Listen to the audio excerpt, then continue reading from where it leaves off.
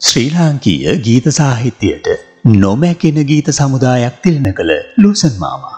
සිංහල ගීත සාහිත්‍යයේ රූපකාර්ථ ගියකාව්‍ය සිත්තරා බව ප්‍රකාශ කළේ අපේ ලොකු අයියාය.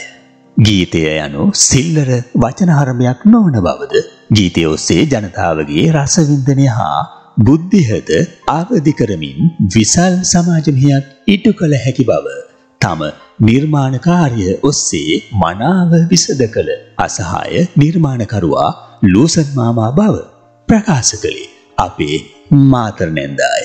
ඔහු ලියූ ගීතාවලිය සංඛ්‍යාත්මකව එතරම් දිගු නොවුවද ගුණාත්මක භාවය අතින් ඒවා එකකට එකක් නොදෙවෙනි බව අවධාරණය කළේ අපේ ලොකු තාත්තාය.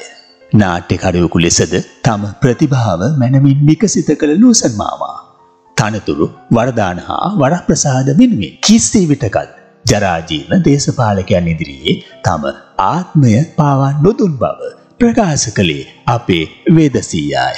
කලක් ඔහු ජාතික රූපවාහිනී ඉහළ තනතුරක් දැරූ අවදියේ අපූරු ටෙල්නාට රැසක්ද එහි විකාශය වූ බවද පසුව අදාළ දේශපාලන අධිකාරයේ නොමනා බලපෑම්වලට යටත් නොවී ස්වකීය තනතුරෙන් ඉල්ලා අස් වූ බවද වෙදසීයා අවධාරණය කළේය.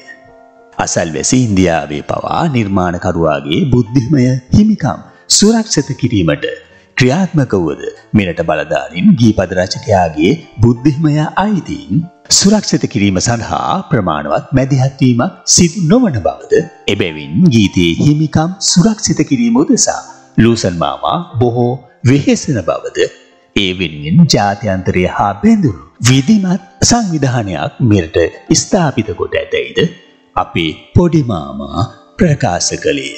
අද බොහෝ නවකයන් මොනවා හෝ ලියා ගායක ගායිකාවන්ටද මුදල් ගෙවා ඒවා නිස්පාදනය කොට ගීත රචකයන් වීමට වේරදරනා මෙවන් සමයක ලූසන් මාමා ගීත රචකයෙකු ලෙස ස්වකීය අභිමානය ඔපවත් කළ බවද මෙවන් නිර්මාණශීලී ගේය කාව්‍ය රචකයන්ගේ නිර්මාණ පෞරුෂය හේතුවෙන් ගායන ශිල්පීන්ගේ ප්‍රතිරූප දීප්තිමත්ව ගොඩනැගුණු බවද අපේ ලොකු අයියා අවධාරණය කළේ අද ඇතිමුන් මාධ්‍ය ඔස්සේ ලොකු ලොකු ප්‍රතිරූප නඩත්තු කරන්නට වෙහෙසුනද.